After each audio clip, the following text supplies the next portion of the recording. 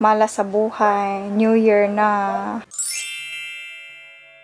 Hi guys, Psychonic here. Welcome back to this channel. If you're a returning subscriber, thank you so much for being here. If you're new, please don't forget to like, share, and subscribe. Para.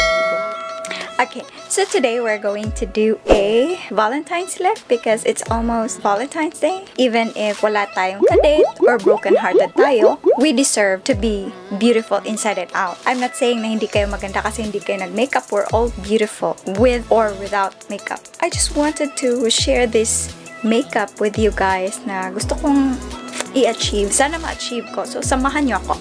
Okay guys, so I went ahead and clipped my hair kasi umano siya sa ano ko, mukha ko and naglagay lang ako ng contact lens. Uh, charot. We're going to start with, I will be using this lip scrub from Precious Skincare Cosmetics para naman kissable yung lips nyo.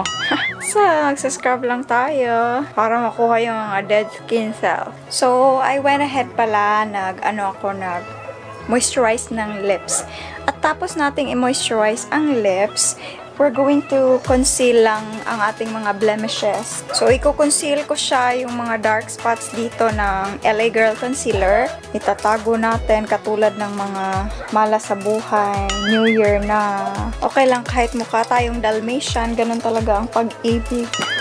Maraming pagsubok sa buhay. It's okay if wala kayong kadate or meron kayong kadate, kahit anong status mo sa buhay, magpaganda ka. Valentine's Day. Lahat naman ng mga tao merong heart. Kaya, it's for all of us. Lagyan natin ng konti. Konti lang nito.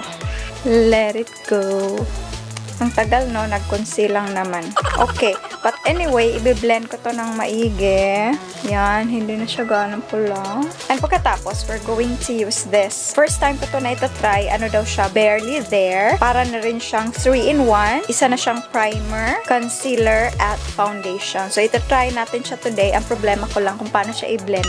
Kasi, I think sample size yata to. Binigay ni Miss Jen. So, this is from Beauty Derm. Ooh, ganito siya guys. Blend muna natin siya ng using our fingers. Tingnan natin ha. And then, ang gagamitin ko sa kanya na ano guys, pang blend is yung ano ng cushion. Cushion, cushion. Cushion day. Gaganon lang natin. Tingnan natin kung maganda ba yung result niya. Oh, maganda naman pala. If you try this one, please comment down below kung ano yung ginagamit niyong pang, pang blend. Ganon. A little bit white, pero alam nyo naman ako, nag-oxidize sa akin yung mga foundation. Ewan ko ba? Trinatridor ako ng mga foundation, katulad nilang mga tao. Maraming trumatridor sa'yo, pero okay lang. Dagdagan pa natin. In fairness, maganda siya. Gusto kong lagyan pa dito. Oh, dito, dito, dito. Half pa to. Ang dami ko nang ginamit. Hindi ako ganong gumagamit ng ano guys, ng cushion. Oh, ito ba? Itong pa, ano na to. So, ganyan lang siya. Ito siya.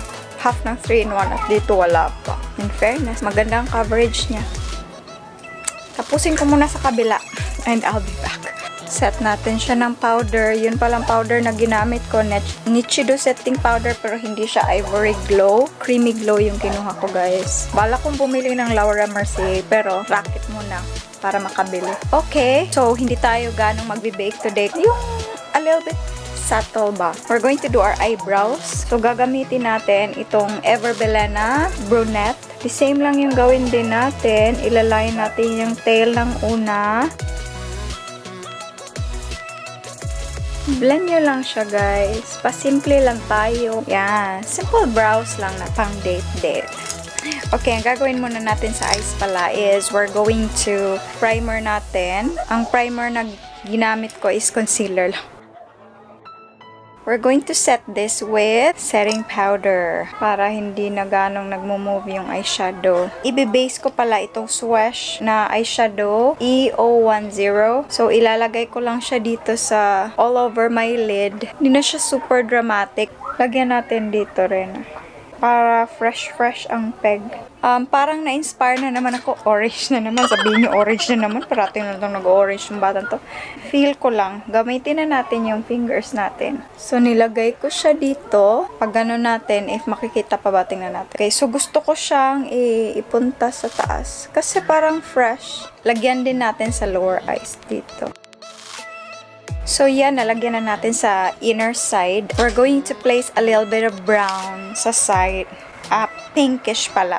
Dito sa crease. Para gawin natin transition color. Parang soft glam. Po-connect lang natin siya sa lower. Connect natin siya sa orange. And then dito rin. So, After that, we're going to use a little bit of brown. Super light lang talaga ng brown. Yung pinaka-lightest shade na brown na meron kayo. As you can see, parang dinadust ko lang talaga. Super, super, super. Ganyan. Parang, ano lang, pag ganon, pack. Pag ganon sa side. Super light lang talaga. Yung gusto ko na para magpa-pop talaga siya. Konti lang nito. It's EO64 from Swesh ulit. Yan. So, we're going to place it sa lid. Para siyang bronzy, bronzy, bronzy. Lalagyan natin dito, here. Para magpa-pop yung eyes natin, guys, lalagyan natin ng white. Gusto ko siyang i-line sa bandang dito. Yan, ito ba? Ito yung gusto ko. Yan, I hope nakikita nyo. Yan na guys, this is for our eyes. Ganun lang. Tapos maglalagay tayo ng liquid eyeliner. Tapos, mascara. Okay, so tapusin ko muna yung kabila and I'll be back. Okay? Yan. So, after that, mag-mascara lang tayo. Ha? Ginamit ko pala itong Maybelline na Hyper Curl, guys. Para mas muchada pa ang atong lashes. Did you ko fan mascara sa lower lash? I don't know. Okay, yan na. And we're going to put on some lashes and we're good. Lagyan natin ng highlighter sa inner corner. Pa!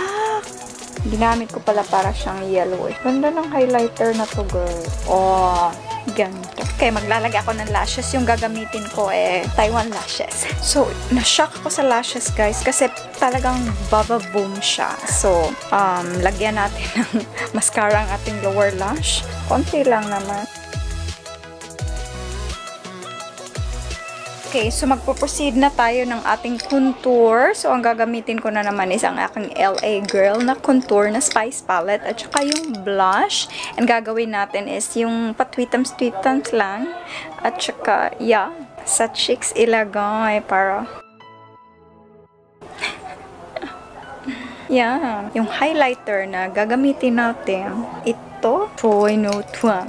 Oh, Oh my God. Oh my God. Ang blinding ng highlight na to.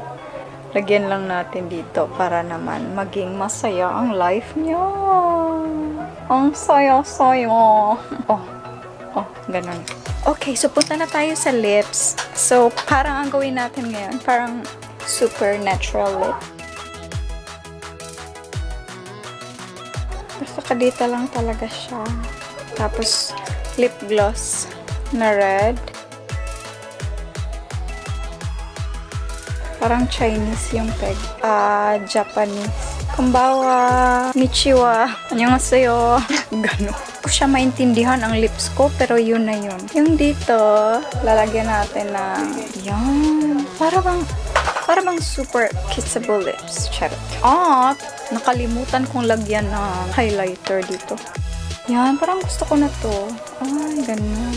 Okay, and tatapusin ko lang yung hair ko and I'll be back. Excited!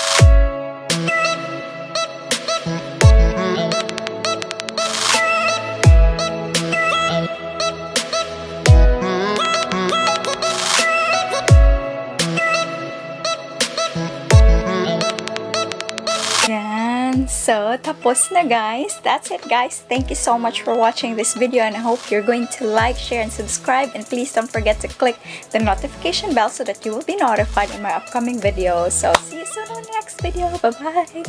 Saranghe! Ah! Ganoon, kiko sa kong buhok. Pero inani pa lang kadadlaw, no? Ganon. Oh, napay pina-earrings, earrings. Ano, sige, babay na.